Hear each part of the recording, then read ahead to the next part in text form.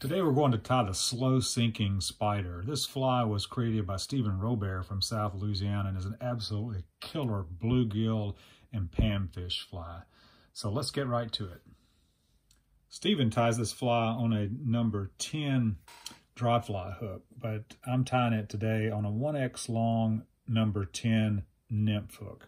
So after getting your hook secured in the jaws of your tying vise, we start the thread about a hook eye length behind the eye of the hook. And I'm using black UTC 70 denier.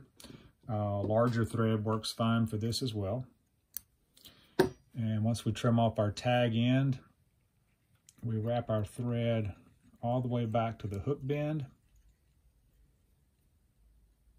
which is just above the barb on this hook and then bring our head, our thread back to the front to our starting point. The body of this fly is made of two materials, both standard size ultra chenille, and today we're tying in chartreuse and black. And any color combination for this will work, so you just choose your confidence bluegill and panfish color com combination for your ultra chenille. And we tie in just behind the eye and hold up on the chenille so the chenille stays on top of the hook shank and tie it all the way back to where the bend of the hook starts, about where we stopped our thread, and then bring the thread back forward to about a third of the way back from the eye of the hook. And this will be the end point of our rear portion of the body of our fly. Okay, we start with the chartreuse chenille and make tight touching wraps of it all the way up to the thread point. And once we reach the thread point, we tie off with a couple of wraps of the thread over the chenille and a couple of wraps of thread under the chenille. And then we trim off the tag end of our chartreuse. Next, bring the black chenille over the top and we pull it fairly tight because it's tied in well, so it's okay to pull it tight and push it down into the top of the chartreuse chenille. Give it a couple of thread wraps over the black chenille, pull the black chenille up and advance our thread up to our original tie-in point. Now we take a two or three wraps of the black chenille to form the front portion of the body of the fly. And we get, when we get to just behind the hook eye,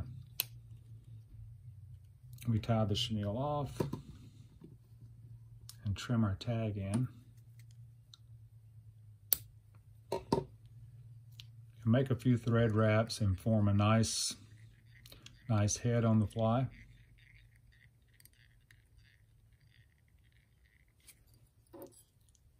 We give it a four or five turn whip finish.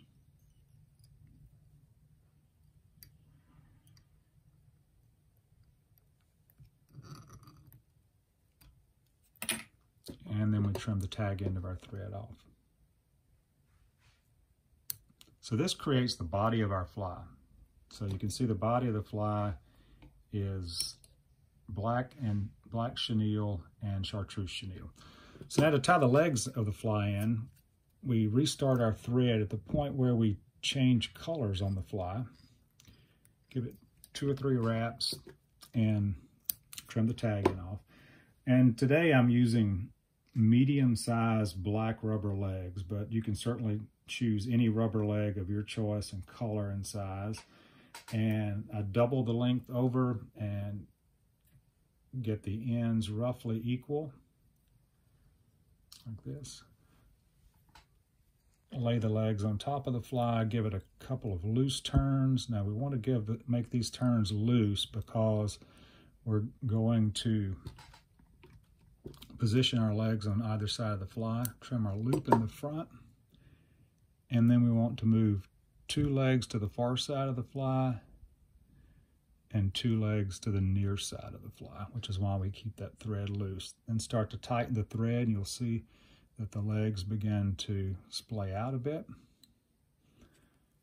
Make two or three more tight turns of thread, And then we want to trim the legs to length, so we just grab all of the legs. We don't stretch them up, we just grab them all up and trim them to about an inch long. The length is not critical, but about an inch is fine. And then we grab our whip finish tool again. And with the whip finishing over the legs can be a challenge. So I like to start with my thread on top between the legs for the whip finish. And give it a three or four turn whip finish.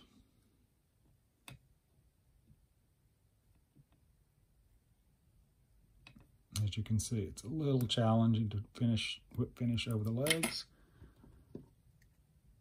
It off, trim it, and there you have it. Slow Slinking Spider by Stephen Robert. If you haven't tried it for bluegill, just try it. It's an absolutely killer pattern.